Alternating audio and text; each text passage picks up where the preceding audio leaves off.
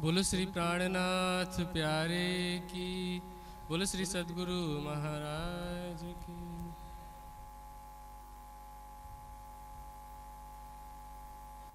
प्राणाधार सुंदर साथ जी, आज का विषय जो है, वाणी का कोई गहन विषय में नहीं ले रहा हूँ। एक ऐसा विषय है जो समाज में काफ़ी विवादित है। और मुझे लगता है कि ब्रह्मवाणी के प्रकाश में वैसे तो कोई भी विवाद नहीं रहता है, जब तक कि हम जानबूझ करके विवाद ना करना चाहें। क्योंकि वाणी का प्रकाश, हम कहते हैं प्राणनाथ जी की वाणी को और प्राणनाथ जी को दोपहर का सूरज। दोपहर के सूरज में छोटी सी चींटी भी अगर ज़मीन में चल रही होती है तो वो भी दिखाई देता है। तो कोई भी ऐसा भेद नहीं है जो स्पष्ट ना हो। बस शर्त इतनी है कि उस रहस्य को समझने के लिए और उस विवाद को सुलझाने के लिए निष्पक्ष होकर के सत्य को ग्रहण करने की और असत्य को त्यागने की प्रवृत्ति होनी चाहिए।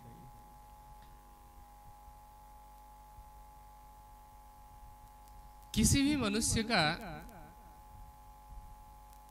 एक जो सामान्य सिद्धांत होता है, वो ये होता है, सामान्य रूप में, मैं विशेष मनुष्य की बात नहीं कर रहा हूँ, जो सामान्य मनुष्य हैं, जो धर्म को वास्तविक रूप से नहीं जानते हैं, नहीं समझते और उस पर चलने का प्रयास नहीं कर रहे अथवा नहीं चल रहे हैं, उनकी सामान्य प्रवृत्ति ये होती है कि अगर कोई व्यक्ति गलती कर रहा है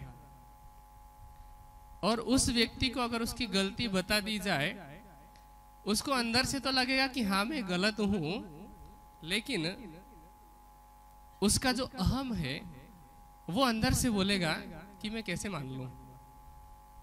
गलती तो है मेरी, लेकिन मैं कैसे मान लू? तो जब तक ये अहम भाव और उसको छोड़ने के लिए एक जो साहस चाहिए, वो साहस किसी के अंदर नहीं होता है। तब तक कोई भी व्यक्ति असत्य को छोड़कर सत्य की तरफ़ प्रवृत्त नहीं हो पाता है। एक और बात मैंने कही कि उसके अंदर स्वार्थ नहीं होना चाहिए। स्वार्थ कैसा? क्योंकि सत्य और असत्य में स्वार्थ की बात कहाँ से आ गई ये सवाल हो सकता है। स्वार्थ इसलिए नहीं होना चाहिए क्योंकि कोई भी स्वार्थी व्यक्ति सत्य को सत्य नहीं कह सकता। या किसी अपने व्यक्ति के झूठ को झूठ नहीं कह सकता, या फिर जिस झूठ से उसका व्यवसाय चल रहा हो, वो ये नहीं कह सकता कि मैं झूठा हूँ। क्योंकि उसमें उसका स्वार्थ छिपा है। जो इस स्वार्थ से ऊपर उठा है, वही कह सकता है कि चाहे अपनी गलती हो, चाहे दूसरे की गलती हो, चाहे स्वयं असत्य मार्ग पर चल रहा हो, चाहे उसका कोई नजदीकी, वो उसे असत्य साबित कर सकता है या असत्य कहने की हिम्मत कर सकता है। ब्रह्मवाणी के प्रकाश में वैसे तो हर भेद स्पष्ट है।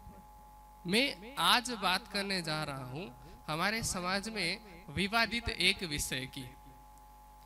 निजानंद संप्रदाय की पद्धति, सबको याद होगी शायद। जिनको याद नहीं होगी, उनको याद कर लेना चाहिए, क्योंकि वो कैसे निजानंदी, जिसको निजानंद संप्रदाय की पद्धति ही याद ना हो। तो निजानंद संप्रदाय की पद्धति में एक चौपाई आती है, जिसमें कहा है, शास्त्र श्रवण श्री भागवत। आगे क्या है? बुद्ध जागृत को ज्ञान। जवाब देते जाइएगा, जिस भी प्रश्न का जवाब आपको आए और जिसका ना आए, वो राज्य की कृपा से मैं देने की कोशिश करूँगा। तो चौपाई कह रही है, शास्त्र श्रवण श्री भागवत बुद्धि जागृत को ज्ञान। जितने भी महानुभाव इस चौपाई का अर्थ करते हैं, वो सामान्य रूप में ये कहते हैं कि हमारा जो शास्त्र है, वो भागवत है, जो कि कौन सी बुद्धि का ज्ञान है? जागृत बुद्धि का ज्ञान है। और यही एक चौपाई है, जिसका अर्थ हमारे पूरे समाज को गुमराह कर रहा है, क्योंकि आज हम देख रहे हैं अभी अभी हमारे समाज के सबसे प्रतिष्ठित मंदिरों में से, सबसे प्रतिष्ठित संस्थाओं में से एक संस्था है, जिसने तारतम अवतरण होने के लगभग तीन वर्ष हुए होंगे तो उसके अवसर पर एक कार्यक्रम रखा है, जहाँ 108 वाणी का पारायण है और भागवत का भी पारायण है। तो वाणी के पारायण की जो सेवा है, उसमें यजमान जो बोलते हैं ना, वाणी के यजमान की सेवा रखी है ग्यारह हज़ार रुपए और भागवत के लिए वही सेवा है पाँच लाख रुपए कितना अंतर है? अगर कोई सामान्य दृष्टि से भी सोचे कि क्या वाणी की महिमा भागवत की तुलना में इतनी कम है? मैथमेटिक्स लगा करके भी। भाव को एक तरफ़ रख करके मैथमेटिक्स भी लगाए तो कहा ग्यारह हज़ार और कहा पाँच लाख रुपए? तो वाणी की महिमा को कितना छोटा कर दिया है? जिस वाणी के सामने भागवत का अस्तित्व एक और शून्य के समान है। एक और शून्य का मतलब गणित अगर आपने थोड़ी बहुत पढ़ रखी है ना तो शून्य से एक कितना बड़ा है? कितना बड़ा है? अनंत गुना बड़ा है। क्योंकि शून्य तो शून्य है, और शून्य का मतलब कुछ नहीं, और एक का मतलब है। एक है स्वप्निक बुद्धि का ज्ञान, और एक है जागृत और निज बुद्धि का ज्ञान। क्योंकि अब आप सोच रहे होंगे कि पहले चौपाई में तो कहा शास्त्र श्रवण श्री भागवत बुद्ध जागृत को ज्ञान। मैं उसे स्वप्निक बुद्धि का ज्ञान कैसे कह रहा हूँ? सबसे पहली बात, वाणी की एक चौपाई लगभग प्रत्येक सुंदर साथ को याद होगी। एते दिन त्रैलोक में हुती बुद्ध सुपन। एते दिन का मतलब कितने दिन? कब तक की बात कर रहे हैं उस चौपाई में? एते दिन त्रैलोक में होती बुद्ध सुपन का मतलब जब तक देवचंद्र जी के माध्यम से तारतम की पहली चौपाई का अवतरण नहीं हुआ था, तब तक इस स्वप्निक ब्रह्मांड में कौन सी बुद्धि का ज्ञान था? भागवत कब का ज्ञान है? उससे पहले का या बाद का? पहले का ज्ञान है। इसका मतलब कौन सी बुद्धि का ज्ञान है? स्वप्निक बुद्धि का ज्ञान है। फिर शास्त्र श्रवण श्री भागवत बुद्ध जागृत को ज्ञान क्यों कहा है? इसमें एक रहस्य है। निजानंद संप्रदाय की पद्धति क्या है आपको पता है हरिद्वार में जितने भी साधु महात्मा आए थे, हम कहते ना, आए खट दर्शनी, खट शास्त्र वेदी एक तो योगमाया का प्रसंग है, एक हरिद्वार का प्रसंग है, ज़ाहिर रूप से। तो वहाँ छह दर्शन के आचार्य आए हुए थे, चारों वेदों के विद्वान आए हुए थे। वैष्णव के रामानुज, निमानुज, विष्णु, श्याम, माधवाचार्य ऐसे मतानुय आए हुए थे। दस नाम सन्यासी और उनके सात मान्यताओं वाले, सात मन्याओं वाले लोग आए हुए थे। चारों आश्रमों के लोग आए हुए थे। तो वहाँ श्री जी पहले तो एक जिज्ञासु बन करके जाते हैं। उनके साथ बात होती है, उनका पक्ष सुनते हैं। उनका पक्ष सुनने के बाद में सभी के पक्ष का तारतम ज्ञान की दृष्टि से खंडन कर देते हैं। तो जब सबका पक्ष खंडित हो गया तो खंडन के बाद में दूसरा शब्द है मंडन। तो अब अपने सिद्धांत का भी तो मंडन करना है ना। तो अब जिनका सिद्धांत पहले ही खंडित हो चुका है, उन्होंने श्री जी को प्रश्न किया। श्री जी को क्या प्रश्न किया? कि आपके सदगुरु कौन है? ऐसे ही प्रश्न किए थे ना। आपके सदगुरु कौन है? आपकी शाखा क्या है? साला क्या है? आपका स्थान कहाँ है? निवास कौन सा है? गोत्र कौन सा है? ऐसे प्रश्न किए थे। तो उन्हीं प्रश्नों को सिलसिले में उसी प्रकरण में दो अलग अलग चौपाइयाँ हैं। उस प्रकरण को आप देख लीजिएगा, बहत्तर और तिहत्तर नंबर की चौपाई है 72 और 73 उन दो अलग अलग चौपाइयों में बहत्तर नंबर चौपाई के चौथे चरण में प्रश्न किया है कि आपका शास्त्र कौन सा है? एक प्रश्न है। और तिहत्तर नंबर चौपाई के पहले चरण में प्रश्न किया है कि आपकी बुद्धि कौन सी है? आपका ज्ञान कौन सा है? तो दो प्रश्न अलग अलग हुए। तो जैसे अलग अलग प्रश्नों के उत्तर श्री जी ने अलग अलग चौपाइयों में अलग अलग चरणों में दिया हुआ है, इसी तरह से ये दो अलग अलग चौपाइयाँ हुई। अगर एक ही प्रश्न होता ये पूरा तो एक ही चौपाई में होता, और अगर एक ही चौपाई में नहीं होता तो एक ही प्रश्न के अंदर ये दोनों बातें आ जानी चाहिए थी। उन्होंने दो प्रश्न किए कि आपका शास्त्र कौन सा है? क्योंकि शास्त्र का अर्थ होता है, शासयते ये न सशास्त्र। उनका प्रश्न ये था, कहने का मतलब ये था कि ऐसा कौन सा ग्रंथ है जिसके द्वारा आप अध्यात्म के मार्ग में चलने के लिए निर्देश प्राप्त करते हैं? शास्त्र का मतलब ये होता है कि जिसके द्वारा आप अध्यात्म के क्षेत्र में दिशा निर्देश प्राप्त करें। दिशा निर्देश को कहते हैं अंग्रेज़ी में गाइडलाइंस कौन से ग्रंथ से आप गाइडलाइंस प्राप्त करते हो? अर्थात किस ग्रंथ का आधार लेकर के आप लोग चलते हो? और दूसरा प्रश्न ये था कि आपकी बुद्धि कौन सी है? तो दो प्रश्नों के अलग अलग उत्तर दिए श्री जी ने और कहा, शास्त्र श्रवण श्री भागवत। शास्त्र कितने वैसे? आए, खट दर्शनी खट शास्त्र वेदी ऐसा बोलते हैं ना? ये तो भाई तो सबको याद है? तो खट शास्त्र में कौन कौन से शास्त्र आते हैं बताना? सांख्य, वैशेषिक, न्याय, मीमांसा, वेदांत और योग। छह शास्त्र हो गए? भागवत शास्त्र कहाँ से आया? भागवत शास्त्र है कि पुराण है? कोई बताएगा?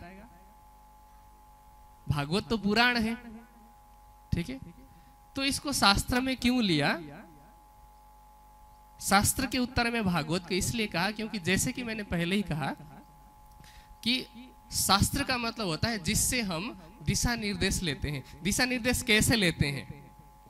भागवत में हमारी ऐसी कौन सी बात है? जिसका आधार हमें इस जागने के ब्रह्मांड में लेने की बात की गई है तो आप प्रकाश की वाणी पढ़ेंगे। प्रकाश की वाणी में क्या कहा? रास प्रकाश छोड़ो जिनखिन जो बीतक अपनी परवान जी।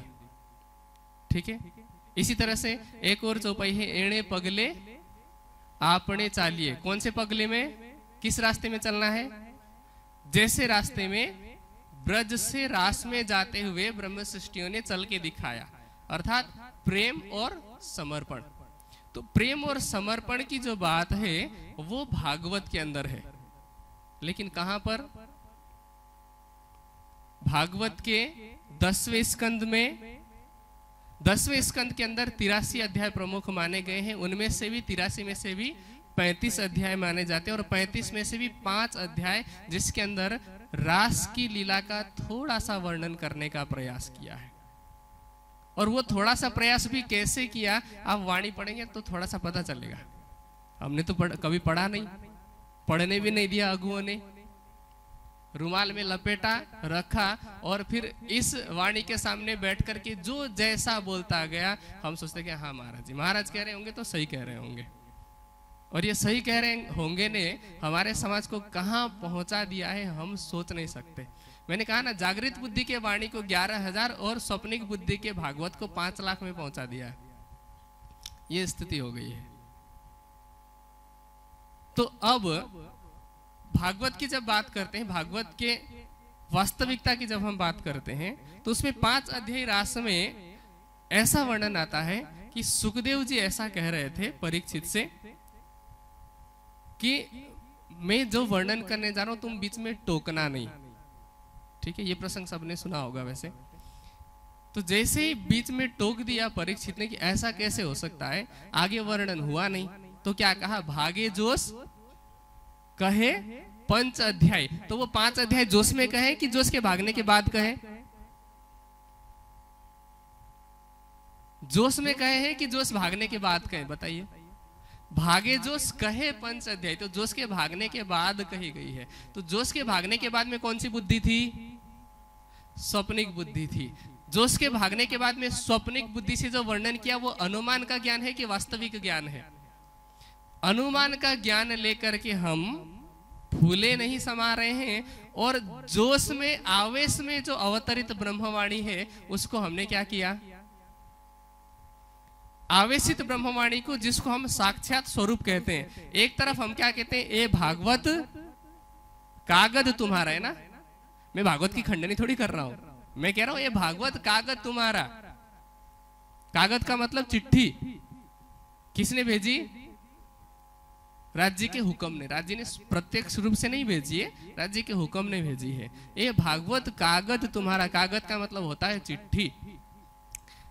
आपके पति परदेश चले जाते हैं और परदेश से आपको अगर चिट्ठी भेजते हैं, चिट्ठी घर में आती है और चिट्ठी आने के दो साल के बाद में, चार साल के बाद में आपके पति भी घर में आते हैं तो आप प्रत्यक्ष पति को पानी पीना, पिलाना छोड़ करके क्या चिट्ठी की पूजा करोगे? हाँ? चिट्ठी को तो हम सहेज करके रखे हुए हैं, संभाल करके रखे हुए हैं, फ्रेम में सजा करके रखे हुए हैं, आरती कर रहे हैं, उसी चिट्ठी को बांच रहे हैं। पति प्रत्यक्ष रूप से आपके सामने विराजमान है, उसको पानी भी नहीं पूछ रहे। वाणी को क्या कहते हैं? किसका स्वरूप है? किसका स्वरूप है? स्वरूप साहब कहते हैं ना, साहब का स्वरूप है। तो वाणी क्या है? आरती अंग चतुर्दश केरी पाँच स्वरूप में एक भैर, ये सिर्फ़ आरती घुमाने के लिए भी या फिर अकल में लाने के लिए, समझ में लाने के लिए? तो एक है चिट्ठी और एक है साक्षात स्वरूप। हमने क्या किया? साक्षात स्वरूप को छोड़ दिया, पीठ दे दिया और चिट्ठी को ही पकड़ करके बैठे। और हम क्या कहते हैं, चिट्ठी पढ़ने से पति की पहचान होती है, पति आ चुके हैं, फिर भी हम चिट्ठी पढ़ रहे हैं। और हम क्या कहते हैं, अब इसके बाद, अब असली बात और आगे है। शास्त्र श्रवण श्री भागवत का तो पता चल गया कि भागवत में कौन सी बातें लिखी है, जिसके कारण शास्त्र कहा है, अब जागृत बुद्धि को ज्ञान भी समझ में आया। कि जागृत बुद्धि का ज्ञान तो ये वाणी है, दो अलग अलग प्रश्नों का उत्तर है। अब आगे अब कुछ सुंदर साथ तर्क दिया करते हैं, जो भागवत के पक्षधर हैं। वो ये तर्क देते हैं, कहते हैं कि अगर भागवत जागृत बुद्धि का ज्ञान नहीं होता तो भागवत सुनने से देवचंद्र जी जागृत कैसे होते? क्योंकि चौदह वर्ष लो निष्ठाबंद वचन ग्रह सबसार चालीस वर्ष की उम्र में हके दिया दीदार। तो भागवत को चालीस चौदह वर्ष तक सुनने पर देवचंद्र जी को दर्शन में ऐसा तर्क दिया करते हैं। अब उन्होंने शायद विचार नहीं किया है या फिर विचार करने के बावजूद भी, जैसे मैंने पहले कहा, स्वार्थवश इसी तर्क को सामान्य सुंदर साथ के सामने प्रस्तुत करते हैं। सामान्य सुंदर साथ सोचते हैं कि महाराज की बुद्धि के सामने, गुरु वाक्य, ब्रह्म वाक्य कहते हैं। अब ब्रह्म के सामने अगर प्रश्न खड़ा कर दिया, ब्रह्म तो हमें परमधाम से निकालेंगे तो सवाल खड़ा नहीं कर सकते। लेकिन राज्य परमधाम से नहीं निकालेंगे। अगर आप प्रश्न करेंगे राज्य परमधाम से नहीं निकालने वाले, अब कुछ प्रश्न है। आप इनको अपना प्रश्न भी कह सकते हैं, मेरा प्रश्न भी कह सकते हैं। मेरे कुछ प्रश्न हैं, जो आपको ये सोचने पर मजबूर करेंगे कि भागवत से देवचंद्र जी को दर्शन नहीं हुआ है। पहला प्रश्न अगर देवचंद्र जी को भागवत सुनने से दर्शन हुआ है, आपकी मान्यता के अनुसार भागवत लिखने वाले कौन? सुखदेव हो, चाहे व्यास जी हो, आपकी मान्यता के अनुसार। ये मान्यता भी आगे स्पष्ट हो जाएगी। आपकी मान्यता के अनुसार सुखदेव और व्यास जी अगर भागवत के लेखक है तो उनको दर्शन हुए? भागवत के लेखक को दर्शन हुए? नहीं हुए। परीक्षित को दर्शन हुआ? भागवत सुनने से नहीं हुआ। कांजी भट्ट कथा कर रहे थे, उनको दर्शन हुआ? उनके साथ, देवचंद्र जी के साथ सुनने वाले तो सैकड़ों श्रोता होंगे, उनको दर्शन हुए? नहीं हुए। भागवत सुनने से दर्शन नहीं हुआ, सिर्फ़ देवचंद्र जी को हुआ। इसमें भी आप थोड़ा सा ये तर्क दे सकते हैं कि देवचंद्र जी के अंदर परम धाम की आत्मा थी, इसलिए दर्शन हुए। गांगजी भाई? गांगजी भाई तो परम धाम की आत्मा थी, साथ में ही भागवत सुनते थे। उनको दर्शन क्यों नहीं हुए? इसका मतलब भागवत सुनने से दर्शन नहीं हुआ है।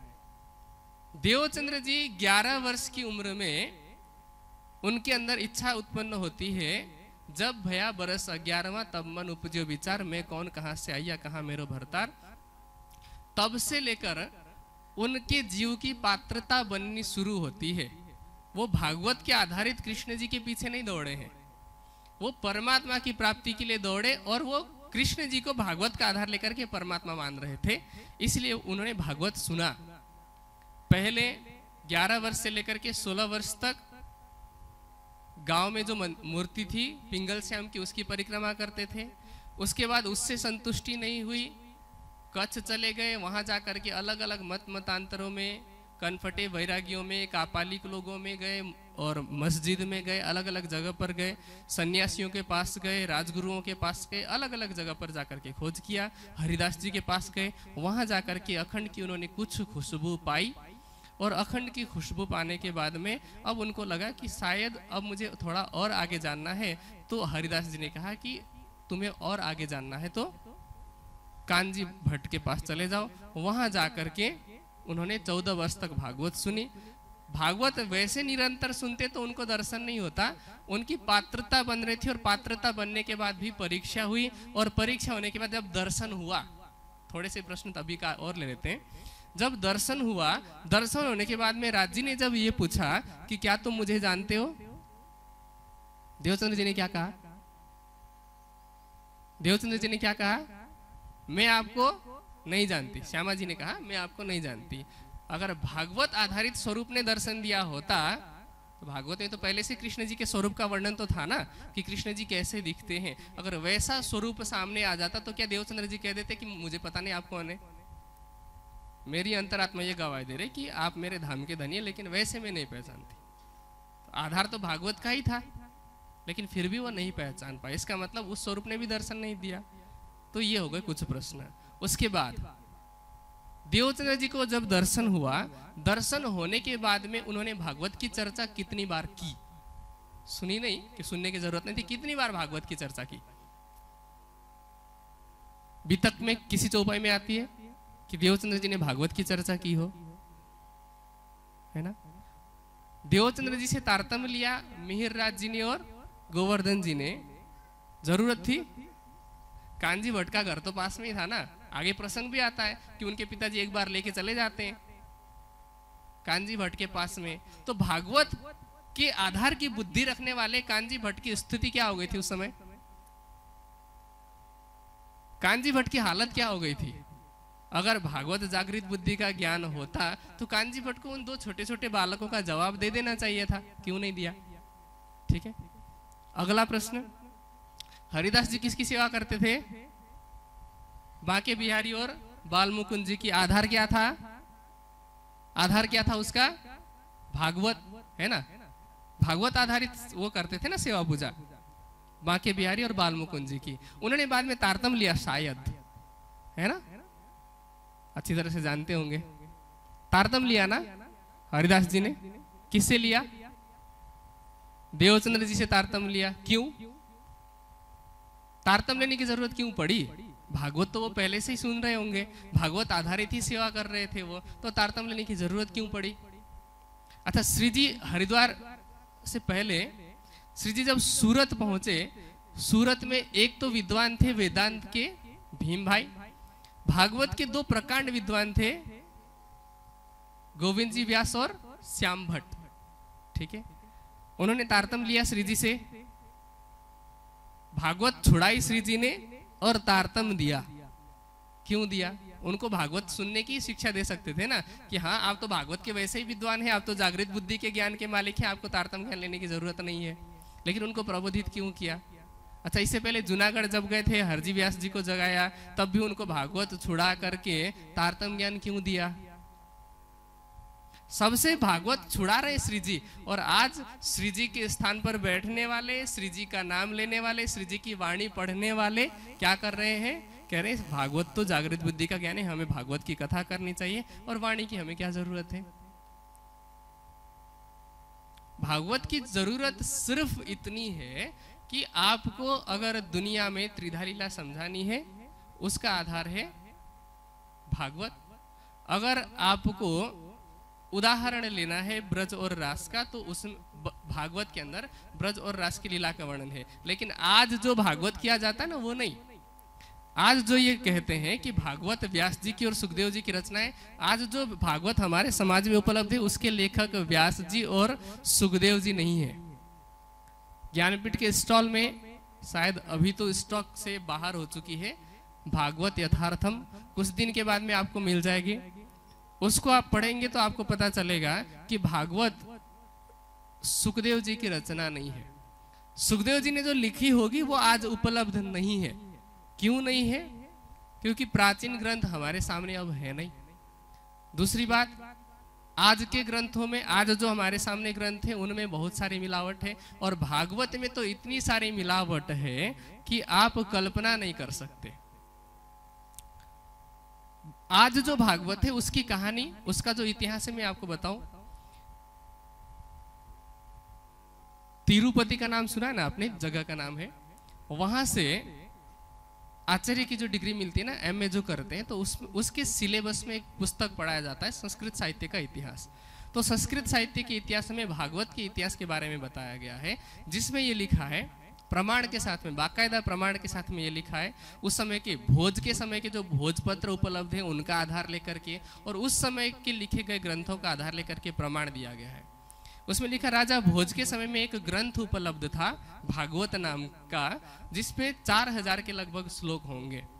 लोग चतुश्लोकी भागवत कहते हैं ना? तो चार हज़ार के लगभग श्लोक थे, और वो श्लोक कठिन भाषा में थे। भाषा तो संस्कृति थी, लेकिन कठिन संस्कृत थी। तो उस समय में राजा भोज के दरबारी जितने थे, उनमें से एक दरबारी का नाम था जयदेव। उनके दरबारी कवि थे, संस्कृत में काव्य लिखा करते थे। तो उनको जब दिखाया गया कि क्या आप इसका अनुवाद कर सकते हैं, अनुवाद मतलब ट्रांसलेशन तो इसका अनुवाद कर सकते हैं या इसकी टीका कर सकते हैं तो जयदेव ने उसको देख करके कहा कि मैं नहीं कर सकता, मेरा भाई है वो मुझसे बड़ा विद्वान है वो कर सकता है। उनका नाम था बोपदेव। तो लेकिन वो बोबदेव क्या थे? वो भक्कड़ अवधूत की तरह थे जंगल में रहा करते थे। तो बोबदेव के पास में वो पत्र पहुँचाया गया दिखा करके कहा गया कि क्या आप, आप इसका अनुवाद कर सकते हैं? बोले कर तो सकता हूँ लेकिन मुझे छह महीने का समय चाहिए।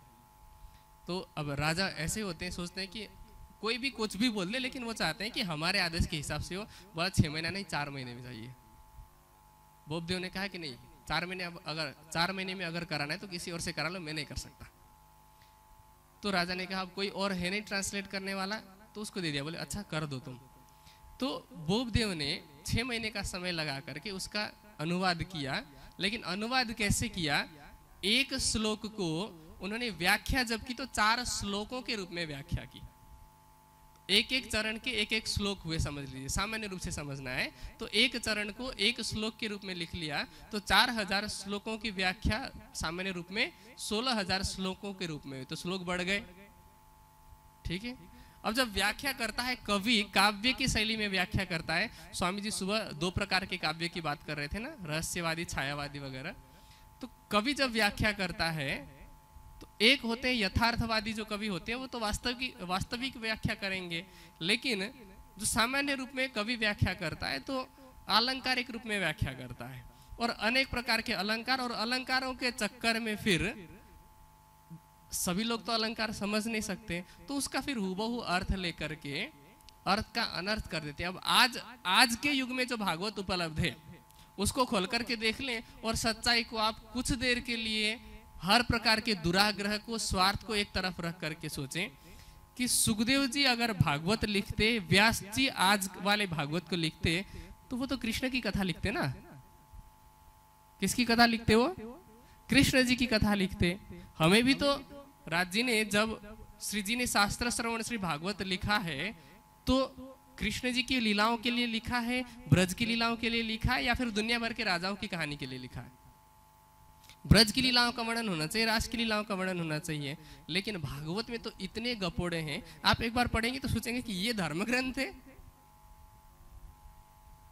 हवन के अंदर यज्ञों में पशु बलि की जो बात आती है, भागवत में मिलेगा आपको। सती प्रथा का नाम सुना है? सती प्रथा किसको बोलते हैं? एक स्त्री का पति मर जाए तो उसको भी चिता में जला देना चाहिए। ऐसा वर्णन आपको भागवत में मिलेगा। ठीक है? भागवत में आपको वर्णन मिलेगा कि कोई एक राजा था शशि बिंदु नाम का, उसकी पता नहीं कितनी करोड़ रानियाँ थी, छह करोड़ रानियाँ थी। आपको वर्णन मिलेगा कोई एक राजा था जो रथ में बैठ करके कहीं जा रहा था, उसके रथ के पहियों से जो गड्ढे बनते हैं ना, उन गड्ढों से समुद्र बन गए। समुद्र मतलब सागर। आप क्या कल्पना कर सकते हैं कि किसी रथ के पहिए धस जाने से या किसी रथ के पहिए के चलने से वहाँ पर सागर बन जाए? पृथ्वी का जो परिमाप है, पृथ्वी का जो परिमाण है, वो 50 करोड़ योजन का बताया जाता है। तो ऐसे भागवत को आप गपोड़ा नहीं कहेंगे तो क्या कहेंगे? और ऐसा भागवत सुन करके कोई ये कैसे कह सकता है कि ये भागवत जागृत बुद्धि का ज्ञान है? अब, दो बातें तो स्पष्ट हो चुकी है। पहली बात ये कि भागवत जागृत बुद्धि का ज्ञान नहीं है। दूसरी बात ये कि भागवत सुनने से जागृति नहीं होती है। अब तीसरा प्रश्न ये है कि फिर भागवत की कथा क्यों? भागवत को वरीयता क्यों दे जा रही वाणी के ऊपर? ग्यारह हज़ार और पाँच लाख का डिफरेंस क्यों? इसलिए साफ़ कह रहा हूँ, किसी को बुरा लग सकता है, कड़वा लग सकता है, लेकिन वाणी को आगे बढ़ाने के लिए, ब्रह्मवाणी को प्रकाशित करने के लिए अगर किसी को बुरा लगता है तो मुझे कोई फ़र्क नहीं पड़ता। वाणी कहती है, गोविंद के गुण गाय के तापर मागत दान और भागवत सिखाती है।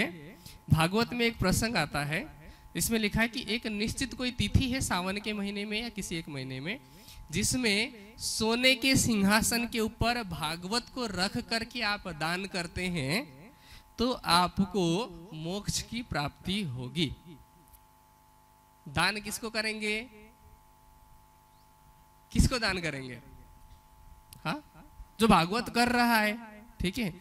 अब जिसको इस तरह से लाखों की आय हो रही है, लाखों का चढ़ावा आ रहा है, वो ऐसे थोड़ी कहेगा, गोविंद के गुण गाय के तापर मागदान धिक धिक पढ़ो।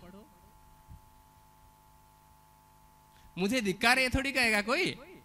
मैं खुद दान मांग रहा हूँ भागवत करके तो मैं ये थोड़ी कहूँगा कि दान मांगना गलत है। ठीक है? किसी व्यक्ति ने, क्योंकि आज तो थोड़ा पढ़े लिखे लोगों का युग है, किसी व्यक्ति ने एक बहुत अच्छी पोस्ट लिखी थी फेसबुक पे। उसने लिखा कि ये दुनिया, ये धन संपत्ति, ये धन दौलत सब मोह माया है, ऐसा बताने वाले महाराज, ऐसा बताने का पाँच लाख रुपया लेते हैं। समझे? ठीक है? तो ऐसा बताने का आधार क्या है? भागवत। ठीक है? अब एक है दुकान और एक है सेवा। समझ रहे? दुकान है, आय का साधन, और सेवा में क्या क्या होता है? अपना भी चला जाता है, अपना भी लग जाता है। अब आप अगर वाणी को प्रकाशित करेंगे तो चढ़ावा कहाँ से आएगा? ठीक है? तो वाणी के आधार पर भागवत को वरीयता देना। मैं भागवत को मना थोड़ी कर रहा हूँ। मैं ये कह रहा हूँ कि भागवत कागज़ है, भागवत चिट्ठी है, भागवत शास्त्र श्रवण श्री भागवत है। भागवत में ब्रज और रास की लीला का वर्णन है, जिसका आधार लेकर के ब्रह्म सृष्टि आगे चल सकती है। लेकिन आज ब्रह्मवाणी के आने के बाद तो उसकी भी ज़रूरत नहीं है। क्या दुनिया में किसी को पता नहीं? भागवत सुने बिना कि ब्रज में कैसे चलते थे? वाणी में ये नहीं कहा है। वर्णन वाणी में है कि नहीं? भागवत से तो ज़्यादा ही वर्णन है ना। भागवत में तो पाँच अध्याय में रास का वर्णन मिलेगा, वो भी अनुमान पे आधारित। वाणी में कितनी चौपाइया है? रास के अंदर। सिर्फ़ रास के अंदर कितने प्रकरण है? चालीस के लगभग प्रकरण है, जिनमें पहले पाँच प्रकरण को छोड़ दिया जाए तो बाकी तो पाँच प्रकरण अखंड के रास के हैं, बाकी के प्रकरण। पहले पाँच प्रकरण मोह सागर से संबंधित है, बाकी प्रकरण अखंड युग माया के हैं।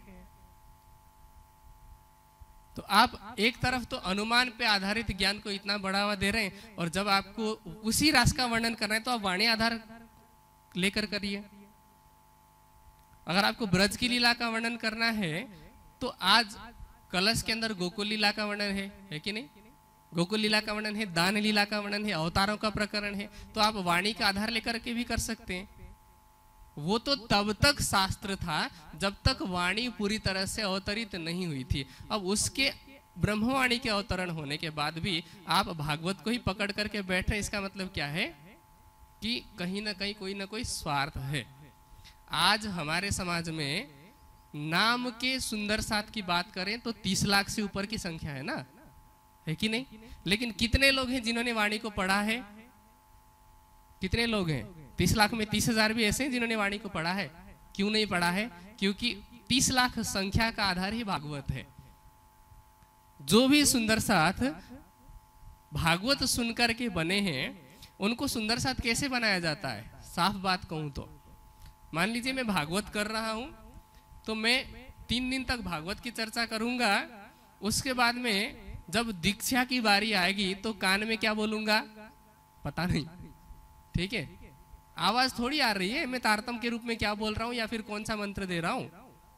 तो कान में मैंने कुछ भी बोल दिया, उसके बाद में बोल दिया कि आज से आप सुंदर साथ हुए, आज से आपको ये करना है तो शिवा पूजा की गोटा थमा दी, और उसके बाद बोला कि सुबह शाम ये करना है। उस बेचारे को क्या पता? वो तो जैसे भेड़ चाल है। जैसे तोता रट्टू ज्ञान है, वैसे ही वो सुबह सुबह शाम सेवा पूजा करेगा।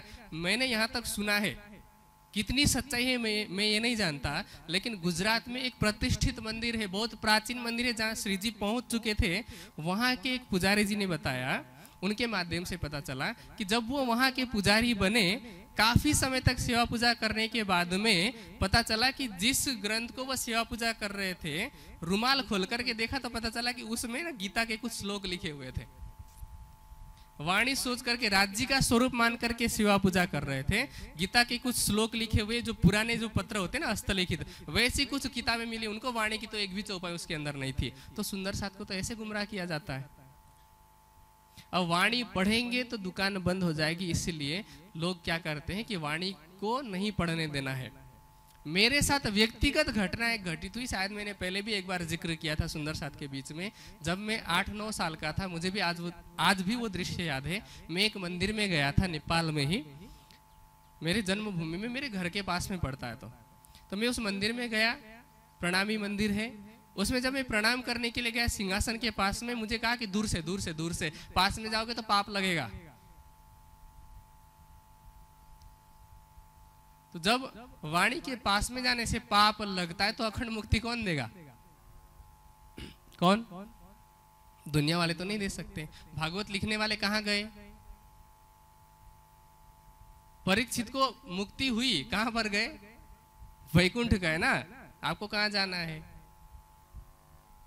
परमधाम जाना है ना? अच्छा एक और सवाल चलते चलते पूछ लेता हूँ। भागवत से थोड़ा सा हटकर है वैसे, लेकिन प्रसंग वही है। ठीक है? भागवत से प्रसंग से हटके है, लेकिन लगभग लगभग प्रसंग वैसा ही है। अक्षराती धामधनी श्री राज्य की पहचान आप इस जागनी के ब्रह्मांड में करेंगे। प्राणनाथ जी के रूप में, श्री जी के रूप में, चाहे किसी भी रूप में तो कुछ लोग कहते हैं कि आप अगर श्री जी का नाम लेते हैं तो आपको आठवीं बहिष्ठ मिलेगी। ठीक है? भागवत आधारित अगर श्री कृष्ण जी की अगर बात करते हैं तो दो श्री कृष्ण जी है ना? बाकी बिहारी जी और बाल मुकुंद जी, एक ब्रज स्वरूप एक रास स्वरूप तो रास कहाँ पर अखंड है? कहा? योग माया के चौथी बहिष्ठ में ना? और पांचवी में ब्रज अखंड है। तो ब्रज और रास वाले स्वरूप को मानते हैं। आप भागवत का भी आधार लेकर के, चाहे किसी का भी आधार लेकर के तो चौथी और पांचवी बहिष्ठ को मानने वाला परमधाम कैसे जाएगा? है ना? या पहली बहिष्ठ में कैसे जाएगा? और जो परम धाम में विराजमान स्वरूप है लई तारतम अजवालु सार वली श्री जी आव्य आवार बोलते हैं ना आप सब। तारतम लेकर के आने वाला स्वरूप श्री जी का है। तो उसको मानने वाला आठवीं बहिष्ठ में जाए और चौथी बहिष्ठ के स्वरूप का मानने वाला परमधाम जाए, ये तो संभव नहीं है। लेकिन ऐसी बुद्धि कहाँ से आती है? जिस बुद्धि में ये बात आ सकती है कि किसी राजा के रथ पे बैठ करके चलने से समुद्र बन सकते हैं तो ये भी मान सकता है कि चौथी बहिष्ठ को मान करके कोई परम धाम जा सकता है। तो ऐसी बुद्धि को किसने बनाया? ऐसी जड़ बुद्धि कहाँ से हुई? इस बुद्धि में जड़ता कहाँ से आई? क्योंकि गपोड़े सुन सुन करके बड़े हुए हैं, उसी को सुन करके हमने अब तक का जीवन गुजारा है तो हम आज भी ये मानते हैं। नहीं तो अगर आज हम वाणी पढ़ते, छठे दिन का अवसर चल रहा है ना? अवसर तो है तारतम वाणी के अवतरण होने का, जिसका मैंने पहले ज़िक्र किया, ग्यारह हज़ार और पाँच लाख वाला। अवसर तो है तारतम ज्ञान के अवतरण होने का, ठीक है? लेकिन उसमें व्यवहार कैसा हो रहा है? जिस तारतम वाणी के अवसर पर ऐसा किया जा रहा है, उसमें तारतम वाणी को कितना महत्व दिया जा रहा है और जो स्वप्निक बुद्धि का ज्ञान है, उसकी महिमा क्या बताई गई है? आज वैसे तो ये ब्रह्मवाणी का मंच है, ब्रह्मवाणी ब्रह्मवाणी के मंच से इतनी कड़वी बातें वैसे शोभा नहीं देती और करने की ज़रूरत भी नहीं थी, लेकिन क्योंकि समाज दिन दिन ब दिन गहराई में ही चलता जा रहा है हम उम्मीद लगाते हैं कि वाणी की चर्चा सुनकर के सुंदर साथ ऊपर की ओर जाएँगे और सुंदर साथ क्या क्या कर रहे हैं, वाणी की चर्चा को थोड़ी देर के लिए सुन तो रहे हैं। लेकिन फ़ायदा कहाँ से हो रहा है? वाणी से तो कोई फ़ायदा नहीं दिख रहा है ना लौकिक फ़ायदा। तो वाणी की चर्चा कौन करे? आज होता क्या है? लौकिक दृष्टि से अगर मैं देखूँ तो वाणी की चर्चा किसी जगह पर हो रही है तो सुंदर साथ सेवा कैसे करते हैं? वैसे ऐसा नहीं कि नहीं करते। करते तो भाव से ही करते हैं, लेकिन चढ़ावा कम आता है। ठीक है? और भागवत आप कैसे भी, कितनी भी गरीबी वाली जगह पर जाएँ, मैंने एक जगह देखा, प्रत्यक्ष रूप से 2009 की बात है ये। नेपाल में एक ऐसी जगह है, जहाँ पर उस समय में सड़क भी नहीं पहुँची थी। लगभग सात आठ किलोमीटर तक पैदल चल के जाना पड़ता था। वहाँ के एक स्कूल में भागवत रखा गया था, साप्ताहिक। और जब साप्ताहिक भागवत रखा गया अंतिम दिन तक उन्होंने बताया आयोजकों ने कि तीस लाख रुपए का डोनेशन आया था। तीस लाख रुपए का चढ़ावा आया था। क्योंकि सिखाया यही जाता है। मैंने कहा ना, भागवत में दान देने से मोक्ष की प्राप्ति होती है। तो यही सिखाएँगे यही सिखाएँगे तो चढ़ावा आएगा चढ़ावा आएगा तो हमारा गुजारा चलेगा। इसलिए हम अपने गुजारे को बंद नहीं कर सकते। भले ही राज जी हमें कुछ भी कहें। वाणी की जो भाई भले ही ये कहे, महामती पूछे ब्रह्म सृष्टि को वैकुंठ जासी की धाम, वैकुंठ जाए, चाहे धाम जाए, हमें कोई लेना देना नहीं, हमें अभी चढ़ावा चाहिए। ठीक है? तो इस प्रवृत्ति के जो लोग हैं, वो ब्रह्मवाणी पर भागवत को वरीयता देंगे और जो सच में परम धाम जाना चाहेंगे, सच में अपनी आत्म जागृति करना चाहेंगे, वो ब्रह्मवाणी को महत्व देंगे, ब्रह्मवाणी का प्रचार करेंगे, प्रसार करेंगे, वो सुनेंगे, सुनाएँगे और इसकी प्रशिक्षण देंगे। दो ऑप्शन है, दो विकल्प मैंने रखे हैं। ये सिर्फ़ मेरी ही पुकार नहीं, आप भी अगर एकांत में बैठ करके चिंतन करेंगे तो आपको भी पता चलेगा। आपको भी समझ में ये बात आ जाएगी कि भागवत और वाणी के बीच में कितना बड़ा अंतर है। मैंने पहले कहा ना, एक और ज़ीरो का अंतर है। एक स्वप्निक बुद्धि का ज्ञान है, एक जागृत बुद्धि का ज्ञान है। स्वप्न और जागृति में कितना अंतर है? सत असत पटंतरो जैसे दिन और रात। ठीक है? अब एक रात्रि का अंधकार है, एक दोपहर का सूरज है। रात्रि के अंधकार को कौन पसंद करता है?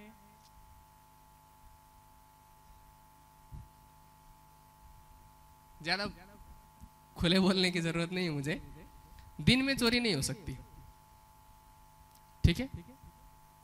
दिन में चोरी नहीं हो सकती।